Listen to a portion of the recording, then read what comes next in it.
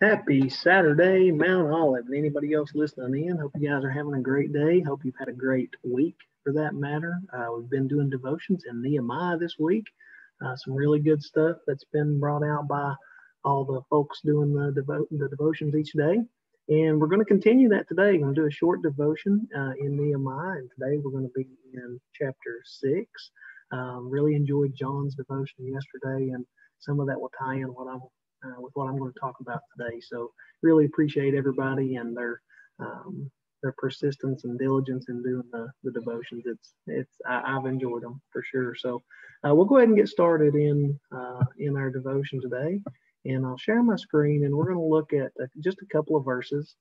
And the first verse that we're going to look at will be um, our scripture from Nehemiah, and it's going to be Nehemiah chapter six, verse nine uh, chapter 6, verse 9. And just so we know, this is the time that uh, Nehemiah and all the folks who have joined with him to build the wall um, have they've they've done that. They've completed that task, and and now there are people who are trying to get Nehemiah um, to pull away from that, and they're it, it's false teachers. They're trying to lure him away from that work so that they can um, uh, remove his influence. They're they're trying to to pull him away. They're they're out to get him. And so uh, here's a verse we want to look at today.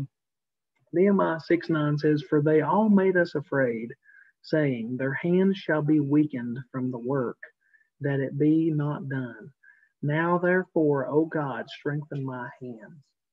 And so, if we think about this, yesterday in John's devotion, he he was talking about all the people who gathered together in unity to build this wall, to rebuild this wall, uh, and Nehemiah and all the people that came alongside him to do the work. And John talked about how uh, it's important uh, for them and it's important to us to be just willing vessels, right? Willing to do the job at hand, and when that job's completed, to move on to the next. And so during those times when there's there's work to be done and when we're in the middle of the work it's very easy for us to uh, to try to be distracted. It's very easy for us to get tired during the work that we're doing for god. And and so when we look at this verse here today and it says their hands shall be weakened from the work that it be not done. You know there's times in ourselves when we try to do the work under our own strength under our own power that we are going to get tired. We are going to get weary. We are going to feel like quitting uh, every day, most days. As a matter of fact, you feel like quitting when there's work to be done, and, and you just you just get wore down. And but the, the last part of this verse says, Now therefore, O God, strengthen my hands.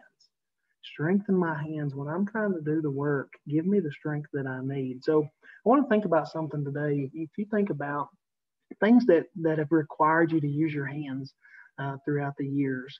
You know, I, I think about uh, a rock climber and how important it is for a rock climber to be able to have that grip and to find the, the tiniest little crevice and to be able to to have the strength to pull themselves up. And you know that there are times if you're if you're climbing and you're pulling yourself up, your your hands are going to get tired right? And your hands get weary and you're like, oh, I just don't know if I'm going to be able to to make this next move or to, to make this next pull if you're climbing the wall. I also think about uh, a gymnast. You know, you see gymnastics um, gymnasts who who have to uh, swing on the high bar, and it's very important that they have a grip, and it's very important that they have strength in their hands, and and so in both of those examples, when you start to lose your grip, you you throw chalk on your hands, right? And, and you do everything you can. I just got to chalk up. I've got to, I've got to tighten up my grips. I've got to, I've got to add something too to try to make sure that I can keep going on, right? And so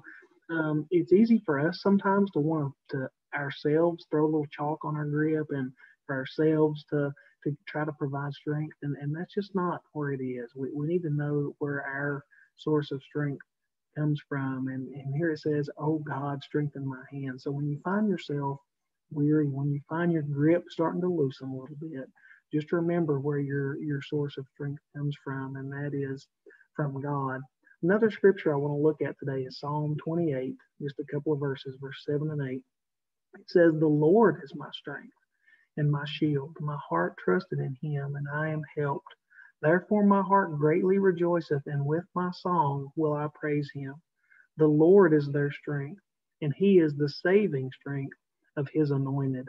And so that's a good reminder for us today that our strength comes from the Lord. Our strength doesn't come for ourselves. And so please be encouraged today, all of us, all of you who are willing vessels, just uh, ready to be used for God. And maybe you find yourself uh, getting a little bit worn down, losing your grip. Just remember that, that the Lord is where your strength comes from. God is the one who provides your strength. It's nothing you can do on your own. And just like John said yesterday, it's important that we all unify together now more than ever. Everybody has a purpose. You have a purpose that God has gifted you with, and whatever it may be, you know, from sleeping to from sweeping the floor to delivering Sunday's message, they're all important in the kingdom of God, and we have to bond together to be able to uh, to move from from one job to the next, build one wall to the other. And I like how this scripture says that the Lord is my strength and shield. In Nehemiah this week, it's been a lot of focus on that wall that they were re- rebuilding, right? And they came together and they built a wall uh, for the city. And just remember that God is is that for us. That wall, when they were finished, was was a solid uh, source of protection, and that's exactly what God is for us. He's our shield. He is what's going to protect us. He's going to He's going to keep us safe. He's going to keep the enemy out. But we have to be obedient to Him we have to find our grip every day. We have to ask Him to strengthen our hands, and we have to just keep on keeping on. So today, I, I pray that everybody is well. I hope you get a little bit of something out of this. Know that God is your source. He provides the strength. And whatever it is you're starting to grow weary of, just look to God. He'll give you the strength. He'll give you the grip. He'll, he'll strengthen your hands so that you can keep on doing His work. Love you all today. Hope you'll join us at church tomorrow at 11 at Mount Olive uh, either in person or online. Uh, and so we hope to see you soon. You guys have a great day.